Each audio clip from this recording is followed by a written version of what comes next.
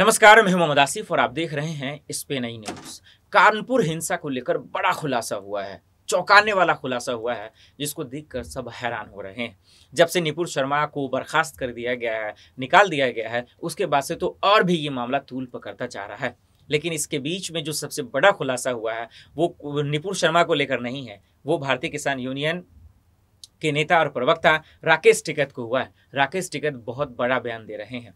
राकेश टिकैत साफ़ शब्दों में कह रहे हैं कि ये जो हुआ है कानपुर हिंसा पर, वो दरअसल जो है, इससे बीजेपी का ही फ़ायदा है। कैसे बीजेपी का फ़ायदा है? वो क्यों कह रहे हैं? इशारों इशारों में, ये समझिए आप लोग, क्योंकि आज खुलकर तो कोई बोलना चाहता नहीं है। कानपुर बवाल पर राकेश टिकैत का बड़ा बयान आया है। जिस चीज़ में सरकार को फ़ायदा, वो सरकार बहुत जल्दी करती है। आप आप इसको समझिए बीजेपी पे कैसे तंज कस रहे हैं। बीजेपी पे ही कह रहे हैं हालाँकि खुल के नहीं कह रहा लेकिन कैसे? क्योंकि आप जानते हैं कानपुर कहाँ यूपी के अंदर आता है यूपी में किसकी सरकार है? बीजेपी की सरकार है। तो और क्या कह रहे हैं कि अप, सरकार अपने फ़ायदे के लिए ही करवाती है। तो यानी कानपुर जो हिंसा हुआ है उन्होंने सरकार की ही ज़िम्मेदारी मान रहे हैं उनकी वजह से ही हुआ है उन्होंने कराया है। क्यों? अपने वोट बैंक की वजह से।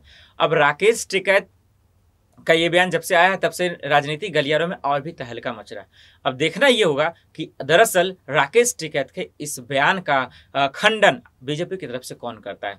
क्योंकि राकेश टिकैत जब भी या तो धमकी देते रहे हैं, चेतावनी देते रहे हैं कि हम सटकों पे उतरेंगे, तमाम चीज़ें करेंगे, लेकिन बीजेपी की तरफ़ से किसी ने कुछ भी नहीं कहा अभी तक।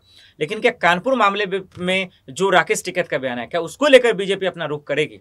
क्योंकि कानपुर मामले में जो हो रहा है, उसको लेकर तरह तरह के सवाल हो रहे हैं कि एक तरफा हो रही है, जिन लोगों की गिरफ्तारी हुई है, वो भी एक तरफा हुआ है। और हम सब देख रहे हैं कि निपुर शर्मा को लेकर सवाल उठा था, लेकिन उसको सस्पेंड कर दिया गया और उनकी गिरफ्तारी की मांग की जा रही है। तो देखते हैं कि आखिर में होता क्या है। राकेश टिकैत के बयान पर क्या बीजेपी कुछ कहती है या नहीं? और वाकई में जो इसको लेकर सियासी गर्म हो गया है, आखिर वो थमता कब है? चलिए आज के लिए इतना ही। बाकी खबरों के लिए देखते हैं। Spain I news. नमस्कार।